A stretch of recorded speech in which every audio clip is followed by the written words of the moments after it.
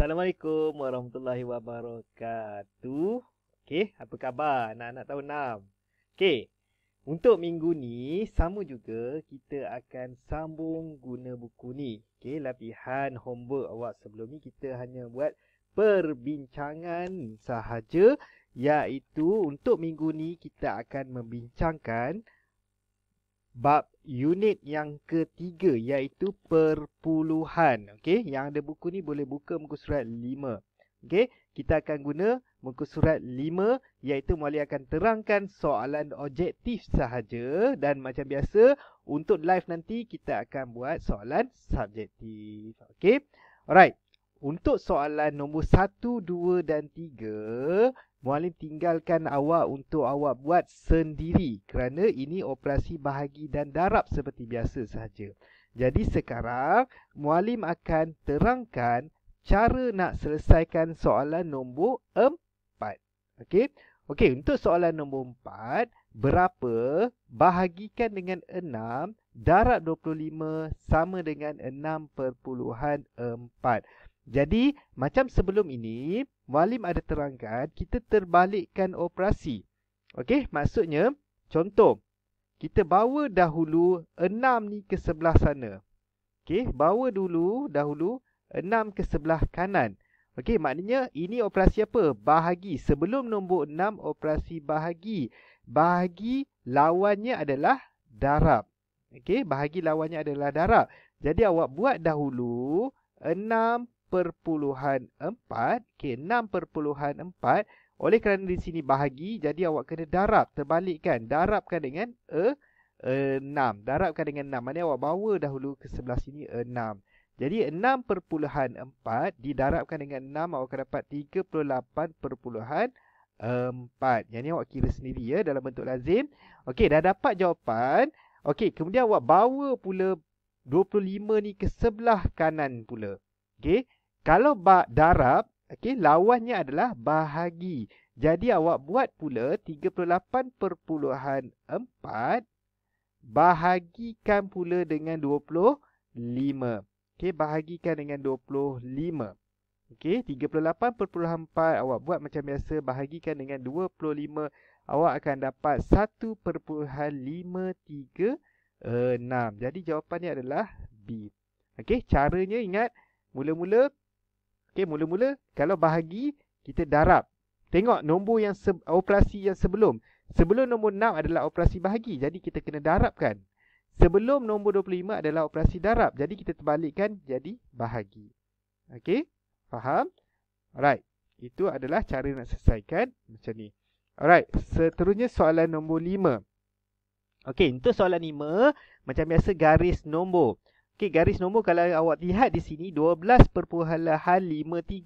Yang ini 14.53. Okey, lepas nombor 12 nombor 13. Ini nombor 14. Jadi 53 dekat belakang adalah sama. Jadi 13.53. Jadi K adalah 13.53. Jadi nilai K adalah 13.53 bahagikan dengan 15 darabkan dengan 9. Jadi awak buat macam biasa. K adalah 13 per K masukkan di sini ya. 13 perpuluhan 53 bahagikan dengan 15. K bahagikan dengan 15. Maknanya awak buat operasi macam biasa dahulu. K bahagi dengan 15. 13.53 bahagi 15. K ingat sifir 15 ni guna. Awak boleh guna sifir kahwin. K sifir kahwin awak selesaikan. Dan dah dapat jawapannya awak darabkan pula dengan 9. Okey. Maknanya awak kira awak akan dapat jawapannya adalah 8.119. Okey, Mali nak awak teruskan sendiri operasi darab dan bahagi ni. Okey, awak buat sendiri, okey? Alright. Seterusnya, okey, soalan nombor 6 dan nombor 7 awak darab dan bahagi macam biasa. Seterusnya Mali akan tunjukkan soalan nombor 8. Okey, untuk soalan nombor 8, Okey. Okey, awak boleh baca dahulu. Jisim seguni beras. Okey, soalan nombor 8. Okey, awak boleh baca dahulu. Sebentar ya. Okey, soalan nombor 8. Jisim seguni beras ialah 20.5 kg. Encik Ali membahagikan. Okey, dah terang-terang operasi apa sekarang? Operasi bahagi. Okey, Encik Ali membahagikan 5 guni beras ke dalam 25 tong. Maknanya, uh, okey, sebelum awak bahagi dengan 25 tong ni, kita berapa ada berapa guni beras sekarang ni?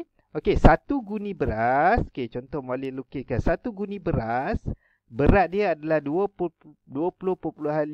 kilogram. Okey, sekarang kita ada berapa guni? Ada 5 guni. 1 2 3 4 5. Okey, kita ada 5 guni beras. Jadi, kalau satu guni beras 20.5. Kalau 5 guni, operasi apa? Operasi darab. Okey, operasi darab. Jadi, 20.5 darabkan dengan 5. Okey, 20.5 kg darabkan dengan 5. 5 guni. Kita ada 5 guni sekarang ni. Okey, awak darabkan awak akan dapat 102.5 kg. Jumlah untuk 5 guni. Sekarang ni kita nak bahagikan okey, kita nak bahagikan ke dalam 25 tong. Okey, jadi kita bahagikan maknanya 102.5 bahagikan dengan 25.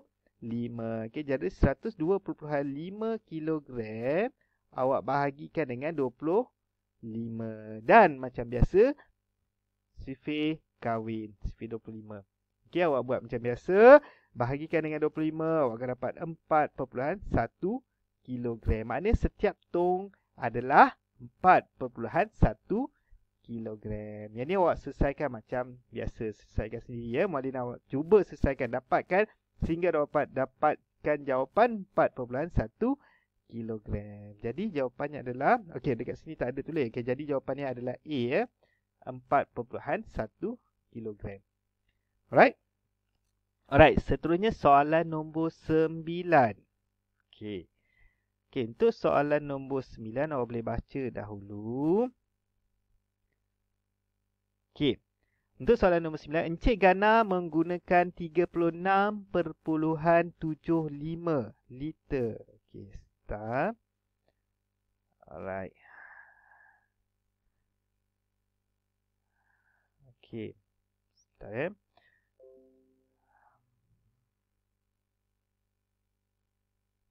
Okey. Okey, untuk soalan nombor 9, Encik Gana menggunakan 36.75 liter dalam seminggu. Seminggu ada berapa hari? Seminggu ada 7 hari. Hitung isi padu petrol dalam liter yang digunakan oleh Encik Gana pada bulan Mac. Okey, bulan Mac nak tanya, bulan Mac ada berapa hari? Bulan Mac, ingat balik jari yang boleh ajar ni. Januari, Februari yang timbul adalah 31. Yang tenggelam adalah 30. Jadi 31 ya 31 Mac. 31 Mac adalah 3 uh, ah, sorry. Mac adalah 31 hari. Okey, Mac ada 31 hari.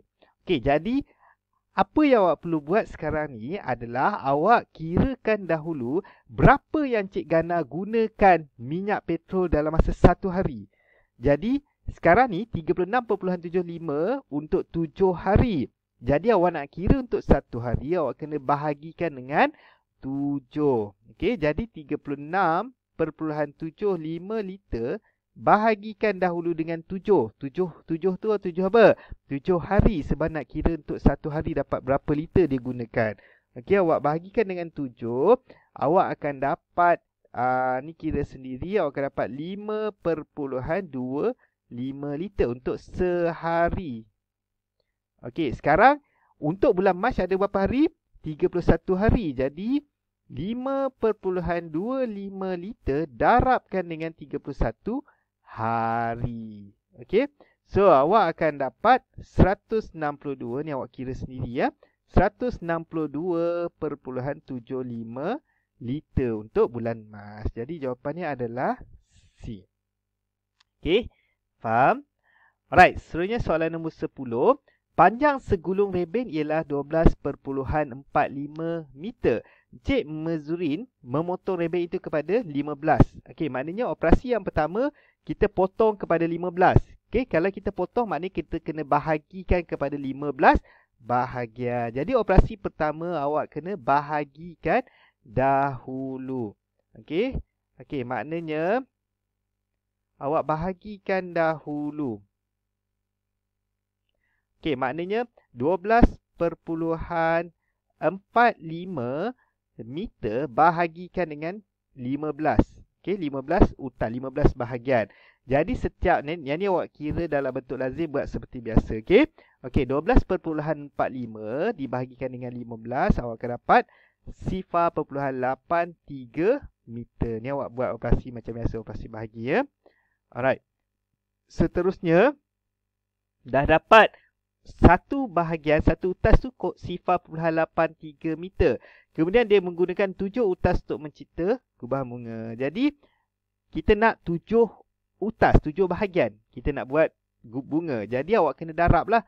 Jadi 0.83 meter didarabkan dengan tujuh pula. Okey. Awak darab macam biasa, awak akan dapat 5.81 meter. Jadi jawapannya adalah B. Right? Faham ya? Alright. Seterusnya soalan nombor 11. Okey, untuk soalan nombor 11, awak boleh baca jadual. Okey, jadual berikut menunjukkan jarak antara bandar X, Y dan Z. Okey. Okey, kita tengok soalan nombor 11 dahulu. Okey. Hitung jarak dalam kilometer bandar X ke bandar Z. Alright. So, apa yang perlu awak buat? Okey, sekarang ni bandar X ke bandar Y adalah 10.5 km. Jadi bandar Y ke bandar Z 2.75 kali ganda. Jadi awak kena operasi apa? Okey, kali-kali kali ganda ni kena dah darab. Jadi awak kena darabkan untuk bandar Y ke bandar Z 10.5 awak kena darabkan dahulu dengan 2.75. Okey, macam mana nak buat? 10.5 darabkan dengan 2.75. Okey, macam mana awak nak buat? Okey, macam mana awak nak buat? Okey, awak kena gerakkan. Okey, tengok sini. Kalau awak nak nak senang, awak okey 10.5 okey mari tunjuk eh cara nak darab 10.5 darabkan dengan 2.75 okey. Okey maknanya awak kena darab 3 lapis. Okey yang seperti Mali ajar dalam kelas sebelum ni. Okey 3 lapis. Maknanya 5 darab 5 okey kita darab ya. Okey 5 darab 5 25 Mari tunjuk cara nak buat. Okey kita darab yang lima dahulu eh. Sifar darab lima. Sifar tambah dua. Dua. Satu darab lima. Lima. Lima darab tujuh. Tiga puluh lima. Okey. Okey. Ni dua ni dah habis. Okey. Lima ni dah habis tadi. Okey. Sifar darab tujuh. Okey. Tiga. Satu darab tujuh. Tujuh. Okey. Ni habis. Lima darab dua. Sepuluh. Ni satu. Ini satu darab dua. Dua. Okey. Jadi awak tambahkan lima. Lima tambah dua. Tujuh. 5 tambah 3, 8. 7 tambah 1, 8. Dan 2. Okey, dekat mana titik pembeluhan? Kita tengok, selepas titik pembeluhan ada berapa nombor? Tengok, selepas titik pembeluhan ada 2 titik pembeluhan kat sini. Selepas titik pembeluhan ada berapa nombor? 1, 2, 3. Ada 3 nombor. Jadi, pastikan selepas titik pembeluhan ada 3 nombor. Okey, 1, 2, 3. Jadi, 28.875 untuk bandar Y ke mana Z. Jadi, hitung jarak. Okay, jumlah jarak. Jadi, awak tambahkan 28.875 tambahkan dengan 10.5. Okay, letak sifar-sifar kat sini. Okay, jadi awak akan dapat berapa? Okay, 5, 7, 13, 8, 9, 2, 3. 39.375 kilometer. Alright? Faham ya? Alright, kalau faham, um, kita akan bincangkan waktu sesi live nanti untuk soalan subjektif. Okay, soalan subjektif kita akan bincangkan waktu live nanti soalan 1 hingga 4. Yang mana ada masa sekarang boleh try buat dahulu. Okay, yang dah buat, Alhamdulillah bagus. Kita akan, yang dah buat pun nanti kita bincangkan. Cuba lihat jawapan yang awak buat. Okay, sama ada betul ataupun kita mungkin ada cara yang senang lebih senang lagi. Okay, so kita jumpa waktu sesi live nanti. Assalamualaikum warahmatullahi wabarakatuh.